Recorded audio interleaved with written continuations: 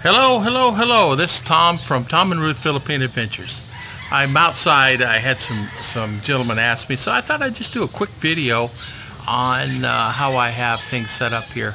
And so, uh, excuse the noise uh, with roosters and everything else. Not as quiet inside the house. Uh, I was going to show you here.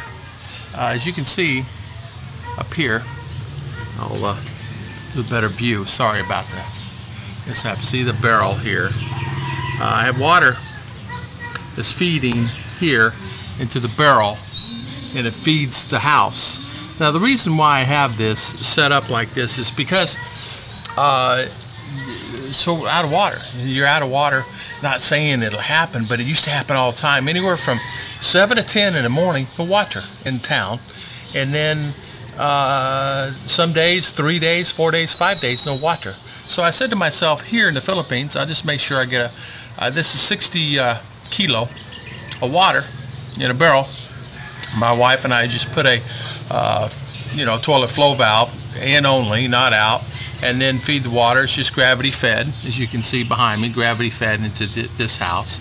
This house, uh, we have it uh, direct into this house, uh, my ex expandable house. There's no reason we were going to do it, but then we got thinking, we don't really use a lot of the, of the bathroom that much. Uh, if we need to use the bathroom, we'd come over to expandable house, no water.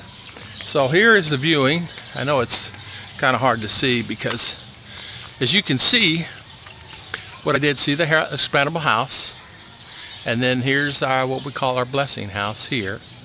And I bought extra sandwich panel. I'll go show you that. Put a fence around the property. I have, um, let's see, it is 10 meter by over a little over 30 meter. It's actually a little over 10 meters, like 10 meter, almost 11 meter. Uh, they gave us extra for the for the car. The car driveway is actually going to come right into here and come on down.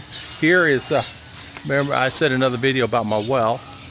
Here's my little well of water. Just sandwich panel. I can actually uh, make a garage right here. Put my concrete pad down and make a garage uh, very simply just using this sandwich panel. Uh, it just interlocks as you know and then you just put a track on the bottom, track on the top. You interlock it and it's locked. You can use uh, sealer to seal it, uh, some, uh, some silicone. But here, what they did here from China, this is how we got it. They did not do any sealing at all. They actually just met the two edges together. We got a top piece, we got a bottom piece, and then uh, slid the tracking into it, the sandwich panel into it. These, these panels are two and a half meter tall and one meter wide. So it gives us plenty of, plenty of room. And as you can see, the expandable house, this is a little bit about the expandable house, I mean our uh, blessing house. This is something that we have, we bought. Because here in the Philippines, you have to have Electric, what they do is, if you have something that you build, it has to be under certain square meter. Then they will charge you accordingly on the square meter of the house. If they see American, they will charge you more. So what we did, we built this 3 meter by 4 meter house, went and applied for the electric, got the electric brought into this house, when the expandable house came, we ran it to the expandable house, and then we have there. Electric ended up costing me a thousand dollars, start to finish, including wire. I had to pay for the wire from pole here, uh, the labor, uh, all the things, the fees, the new account fees, just fees. If it would have normally been a normal day here, and I did, my thousand would have turned into two, three, four thousand because they just charge fees. Now, since my wife is Filipina, she went down there, talked to them. Uh, we actually had to have our neighbor, which worked for the company, to help us out because the uh, it's hard to get electric in a lot of cases because there is a waiting list, and sometimes you can wait one month, two month, three months.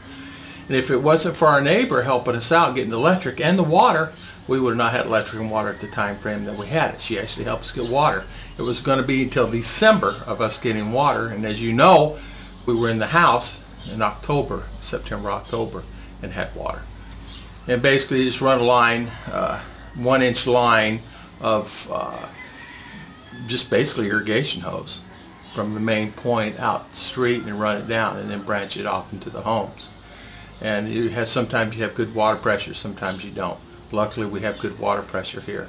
So a blessing house, tiled.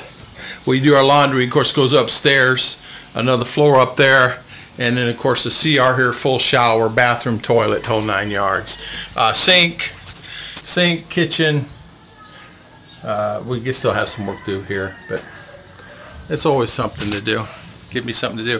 But I want to show you this and give you an idea on uh, the water. I had many people ask me about the water. How you doing your water? I know there's shortage here. Water, you can actually uh, get a bigger drum than I got. You can actually buy them here, the whole three, 400 gallon of water and just put it on a, a metal stilts and uh, just fill it up and then you'll have plenty of water to do showers and things like that. But we find that we don't need no more than 60 kilo. And if it's off more than two, three days, we do have the well. We can actually take a shower from the well. The well is clean water, very clean water. It's muggy this morning, but normally it's clean water, uh, crystal clear. So thank you for watching, and please hit subscribe.